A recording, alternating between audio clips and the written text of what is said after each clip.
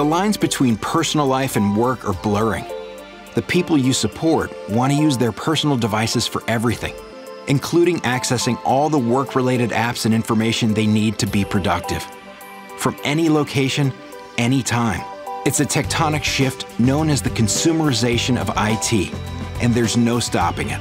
While enterprises would like to provide new devices to their users, or even enable them to use their own devices, they face security problems. Managing users' access to applications and data across a plethora of devices adds risk, cost, and complexity for IT. Microsoft has responded with tools and technologies that allow enterprises to manage the consumerization trend and leverage it to their advantage. It's an approach we call people-centric IT, which makes sense since technology should always put people first. We empower IT organizations to allow their people to work in whatever ways make them most productive using the devices they choose. When it comes to security, compliance, and managing risk, we give you powerful tools that protect your assets but don't impede the user experience.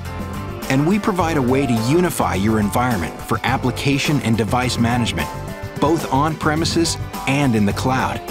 We believe the people centric IT approach combined with Microsoft technologies and solutions, provides customers with the tools they need to empower their people and drive their businesses forward.